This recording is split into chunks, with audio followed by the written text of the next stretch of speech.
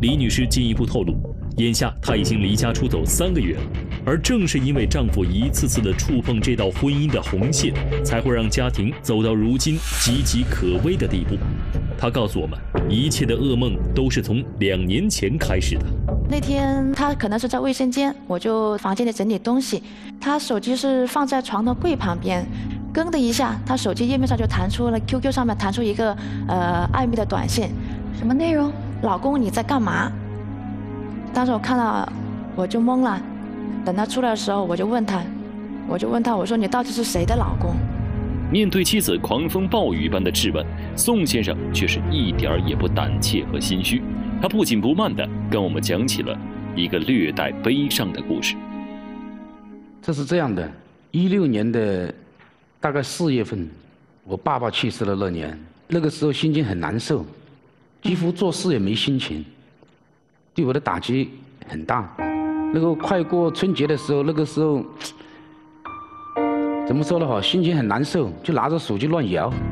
广西的女孩子。当初呢哈，我也不知道那边是男的是女人，我都不知道。然后他就发了个信息给我，我就回了一下，哎，觉得还聊得来，就一直这样聊了起来。他是这样跟我说的，他说我的性格、个性、人品都很像她老公。她老公呢？她老公去世了。然后她就称呼我叫我叫她老婆。我当初是这样想哦。别人毕竟在广西，我这么远，当初根本就没考虑到他，只是随便聊聊天而已。你自己面对这样的称呼，有觉得不妥吗？当初没有这样想，当初真的没这么想。什么时候感觉到不对劲呢？被他发现了之后，就感觉不对劲。如果他没发现，他没发现，也许还会继续聊吧。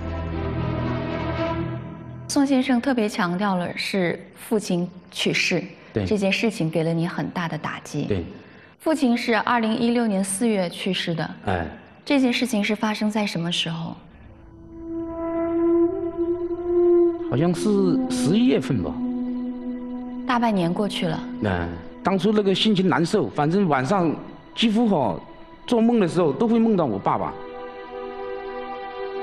但是我想问一下，你确定？爸爸是二零一六年四月份去世的吗？你现在一般应该是一六年吧？不对，爸爸去世是一二零一四年六月月底的时候，就是刚好小孩放暑假的月底的时候，刚好放暑假。一五年不可能一四年吧？一四年，他说的是二零一六年四月，你说的是二零一四年六六月底的时候，差了差不多快两年。对。那这个时间怎么会差的这么远，宋先生？这个感情那么好的父亲，到底他什么时候去世的？你会记忆有出现这么大偏差吗？真的不知道，忘记了。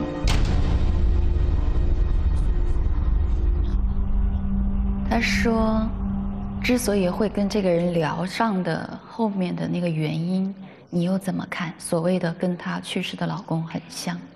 我不接受，至少可以体现他心里没有我。如果有我的话，他就不会说叫别的女人来喊她老公。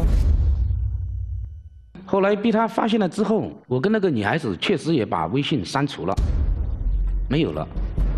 包括那次那个年三十晚上回老家，在我爸妈面前，他也是这样说的。嗯。他说：“保证，啊，这是第一次，以后我再也不会了，这是最后一次，求求你再给我一个机会。”面对他这样的认错态度，那你的态度如何？因为是第一次嘛，看在两个小孩的份上，我原谅他了。他态度也诚恳，我就看他之前对我对我好的份上，给给过他一次改过的自新的机会。带着“浪子回头金不换”的想法，李女士选择了相信丈夫，挽救婚姻。可是，仅仅过了短短一年的时间，一模一样的荒谬情景再度上演。二零一七年的时候，清明节前后的样子，跟又是一条 QQ 短信发过来了，嗯，又是上面又是老公，后面什么字眼我就没记得那么清楚，反正前面的称呼还是依然是老公。那么我想问，第二次呢？第二次是怎样怎样一个解释？可宋先生却说，这里面也是有故事的。他是这样，第一次我跟那个女孩子确实断了。嗯。第二次我没想到他用中国台湾的加我，因为我在台湾有亲戚嘛。当初我加的时候聊了一下，我就发现是他，我就告诉他，我说我现在这个事情我老婆已经知道了，我们没必要再联系了。他当初也说过，行，既然你老婆知道了，我们不要再联系了。后来这个事情啊，还没两三天，又被他发现了。你自然第一时时间知道，加了之后是知道是他，为什么不在第一时间跟他解释清楚？我跟他说了呀。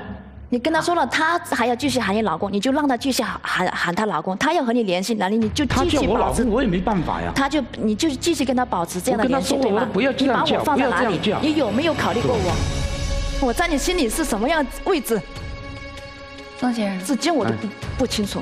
你的意思是误认为他是你的亲戚？对。可是是不是亲戚一加上就很清楚了？加上清楚，对呀。聊了几句我就知道是他。那怎么还会有下一步呢？他那个，等于最后他是说，你让我再叫一声老公。他叫了一声老公之后，马上就被他发现了。你的意思是，这都是在一天之内完成的？对。你刚不说是之后是两天吗？啊。两天之后啊，你这说话前言不对后语。在座大家也听到了，刚刚他说的是，呃，两天之后就被我发现了。刚刚又说是一天两天有什么关系呢？点到为止。一天两天有什么关系？你面对对方提出来的还要再叫你老公这个要求，你自己是怎么想的？我没回答他，我没答应他，等于是被他一发现的时候我就删除了。为什么没有在他发现之前就删掉呢？哎，他就。说我太像她老公了，性格。你是于心不忍呢，还是？没有没有没有。那是因为我这个事情考虑到伤害到我的家庭的事情。那就更应该把他删除，可能忘记了吧？真的没删除。那这第二次，从你的角度来看，是谁的问题造成的错误呢？第二次，如果他不用中国台湾的加我，我不可能会接受的，因为是我亲戚。所以是对方追得太紧了。啊，应该这样讲。在他的哄求饶之下，他答应我绝对会跟他断，然后我又给他机会，选择原谅。对。好。后来把他删了是吧？删了，确实删了。这是第二次，也。算是经历波折，但最终还是解决。对。